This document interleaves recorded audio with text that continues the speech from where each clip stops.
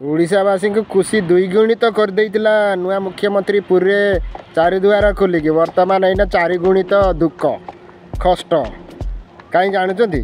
ମନ୍ଦିର ଭିତରେ ଆପଣଙ୍କର ବୁଢ଼ା ମା ବାପା ନେଇକି ଥରଟି ଯାଇକି ଭିତରେ ପଶିକି ମନ୍ଦିରକୁ ଦେଖେଇକି ଆଣିଲ ଦେଖିବା କେମିତି ଭିଡ଼ ହେଉଛି।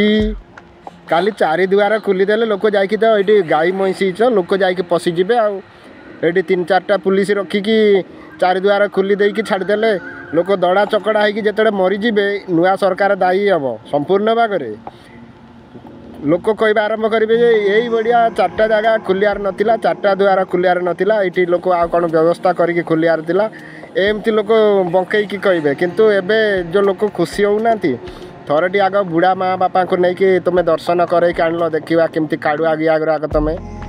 ଲୋକ କହିଲା ଆସିକି କହୁଛନ୍ତି ଏ ତୁ କିଛି ଜାଣିନୁ ଏମିତି ତୁ ଭିଡ଼ିଓ କରୁଛୁ ସେମିତି ଭିଡ଼ିଓ କରୁଛୁ। ଆରେ ଭାଇ ମୁଁ ଯାଇକି ନାକଦମ ହେଇକି ଆଇଛି ଗୋଟିଏ ଛୋଟିଆ ଛୁଆଟା ଆଁ ଆଁ ହେଉଥିଲା ମୁଁ ତାକୁ ମୁଣ୍ଡ ଉପରେ ଟେକିକି ତାକୁ ଧରିଲି ବୋଲି ବଞ୍ଚିଗଲା।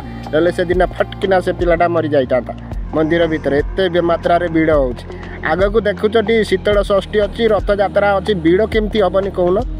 ପ୍ରବଳ ମାତ୍ରାରେ ଭିଡ଼ ହେବ। ଏଇଟା କ'ଣ ସରକାରଙ୍କ ମୁଣ୍ଡରେ ପଶିନି କି? ନା ପ୍ରଶାସନ ମୁଣ୍ଡରେ ପଶି ନଥିଲା ଆଗକୁ ଯେଉଁ ଶୀତଳ ଷଷ୍ଠୀ ଅଛି ରଥଯାତ୍ରା ଅଛି ବହୁତ ଲୋକ ବହୁତ ସଂଖ୍ୟାରେ ଦର୍ଶନ କରିବାକୁ ଲୋକ ଆସିବେ। ରଥଯାତ୍ରା ଦେଖିବାକୁ ଲୋକ ଆସିବେ। ଏଇଟା ଆପଣଙ୍କ କ'ଣ ମୁଣ୍ଡରେ ଚିନ୍ତାଧାରା ନଥିଲା କି? ଏମିତି ଚାରିଦ୍ୱାର ଖୋଲିଦେଲେ ଲୋକ ସୁରୁଖୁରୁରେ ଦର୍ଶନ କରିକି ପଳେଇ ଯିବେ। ଏବେ ଯେଉଁ ଭଳିଆ ଲୋକ ଏବେ ତ ଲୋକ କହିଲେ ବି ଶୁଣୁନାହାନ୍ତି। ଆଉ ତିନି ଚାରିଟା ପୁଲିସ ବର୍ତ୍ତମାନ ଠେଲି ପେଲିକି ଲୋକ ପଳେଇ ଯାଉଛନ୍ତି।